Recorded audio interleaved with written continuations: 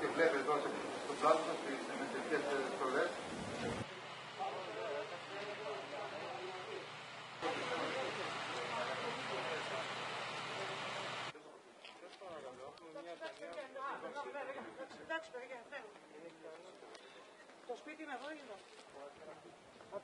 Όλοι οι δημοσιογράφοι της Αθήνας και όλης της χώρας είμαστε συγκλονισμένοι από την εκτέλεση του Γιώργου Καραϊβάζ.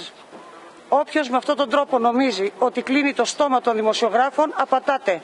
Υπάρχουν άλλοι 6.099 για να απαντήσουν και να διερευνήσουν τι γίνεται.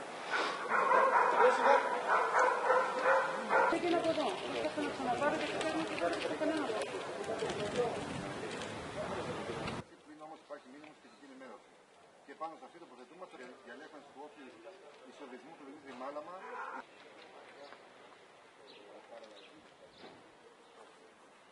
Σύμφωνα με πληροφορίες, οι δράσει φαίνεται ότι είχαν σιγαστεί να χαμηλώσει και το γεγονός ότι αρκετοί κάτι.